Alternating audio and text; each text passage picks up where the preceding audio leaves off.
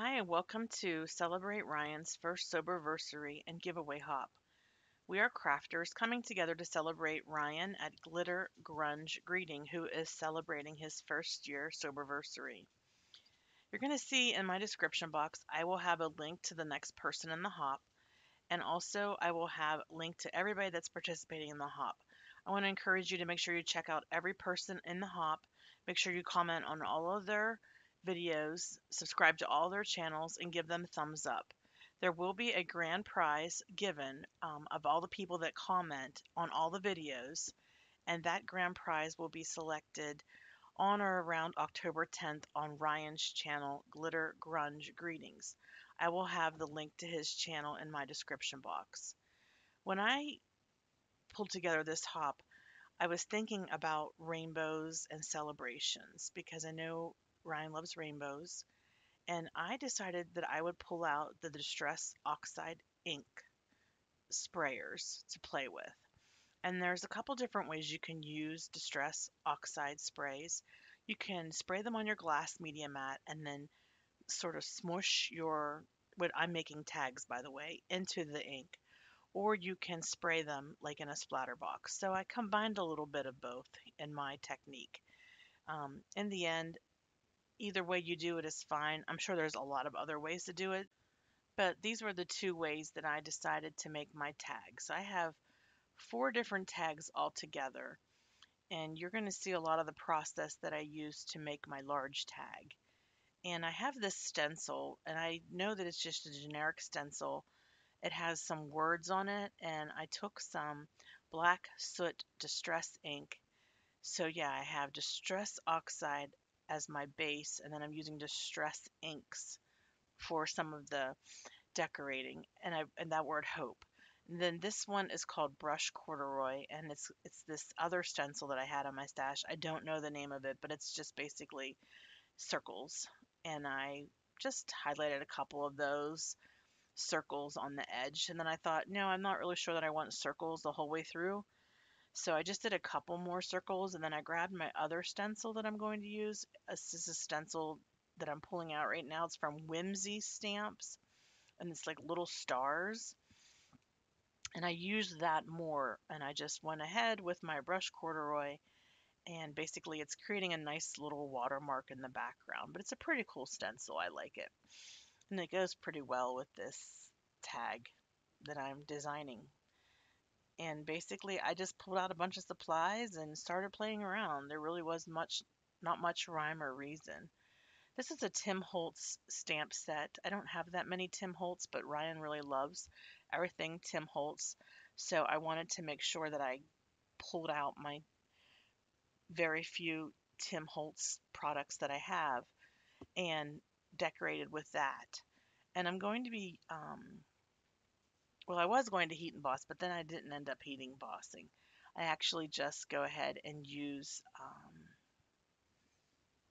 some archival ink to stamp the images. Oh, actually, this is VersaFine Clair. First, I use VersaFine Clair, and then I think I switch over to Catherine Pooler Midnight Archival Ink. But so far, so good. I like the way this looks. I like the way that you could see the rainbow in the background. And of course, the word hope.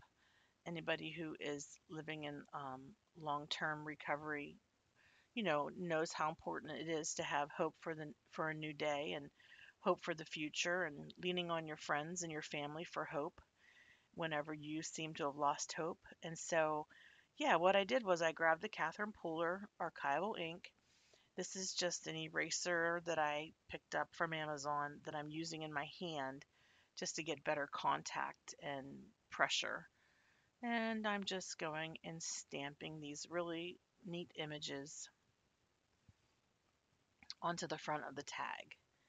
So if you're not familiar with Ryan's channel, you've got to check it out. Glitter Grunge Greetings. He has a YouTube channel and he also has Instagram. So his YouTube channel he started it and within a month he had a thousand subscribers. I mean, he'd only made like 17 videos and he had a thousand subscribers. He's going to be doing a live for the first time next week. So you want to check that out. and he does a lot of distress type projects, but he also, um, you know, likes things sparkly and glittery too. So that's why his channel is called Glitter Grunge Greetings. He also has an Etsy shop where you can purchase his cards uh, that he made if, if, you're interested in that sort of thing. But uh, Ryan is part of our FSC admin design team. If you're not familiar with FSC, it's a private Facebook group that you can join. I will have the link below in the description box. And on that group, we, uh, we've got over a thousand subscribers or followers or whatever it's called on Facebook. And we share ideas and information. We have a lot of great tips and tricks on how to foil and Nancy Stamps uh, and, and I created that FSC group. And we have several really great uh, administrators. We've got Stacy, who has her own YouTube channel, S&R Creations from the Heart. We've got Chow, and her YouTube channel is Create with Chow. We've got other people who are part of our community that have started YouTube channels as a result of being a part of FSC. It's really, really exciting. And I just want to thank everybody that participated in the hop, the other YouTube creators that were willing to be a part of this. This is our first hop for FSC. And I'm hoping that we'll have more hops in the future. But I really just want to say thank you to those who, you know, were brave enough to venture out with us to do this first hop. Um, everybody was excited to support Ryan. He is so talented and so artistic. Um, it just comes naturally to him. He's definitely has a lot of ability and a lot of um, talent. So you don't want to miss what he has to offer. I can't stress that to you enough. I also am pulling out some of my other stamp sets here. I used um, some Gina K silhouette trees on my tag and I'm just fiddling around here trying to see if there are other stamps that I could possibly use just to cover up some of the space on my tag. And honestly, this little brush shrub that I'm using, I don't know what stamp set this comes from because it's old and it's from my stash from a long time ago. And it doesn't have a name. It was it was sort of like one of those generic ones. It might have been a silicone one that I got from one of those magazines that you could buy like at Joann's or Michael's that has stamp and papers and whatnot in it. But it's been really great being part of this hop, getting to know some of our new um, FSC members. Some of the people that are on this hop I met through other hops that I've been in along the way, and they've um, got well over a thousand subscribers. Some are new and maybe, you know, are still striving to get to a hundred or a couple hundred. So um, I just want to encourage you to make sure that you watch all the videos in the hop. Please subscribe to all the channels. Um, make sure you leave a comment on all the videos and um, give us a thumbs up. We appreciate you more than you'll ever know. We definitely want to do more hops in the future, and depending on what kind of response we get, we'll determine whether we do more hops in the future. This is Avery Elle Shimmer Spray that I'm spraying my tag with right now, and it just gives it a lot of sparkle, which I know Ryan really likes.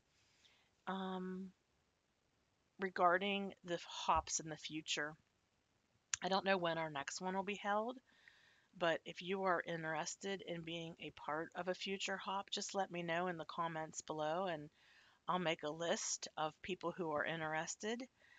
Um, this hop does have a prize. It's a mystery prize.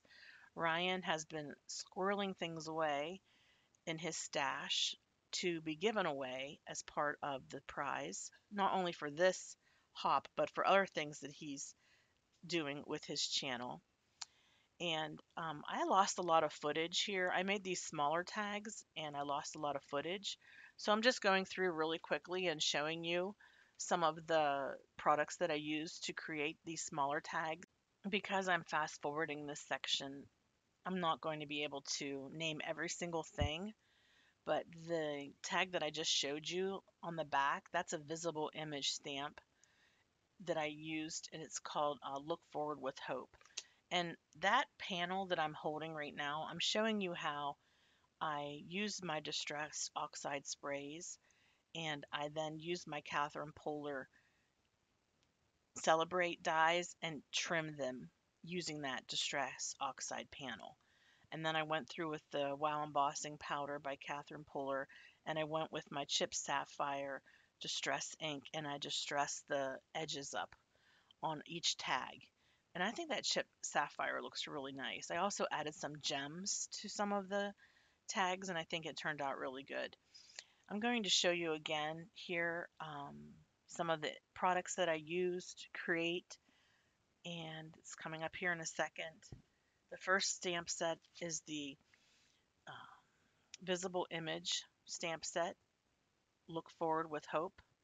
I also pulled this Simon Says stamp set. It's called Hope Blooms, and I used the word hope, and the little tag anchors the soul on the back of two of my tags. So here you have a look at the finished product. I'm going to have some still shots now of some of close-ups of the tags that I created I hope you like what I created, Ryan. Um, I'm going to be sending these to you. I want to thank everybody that participated in the hop and for all of you that are watching.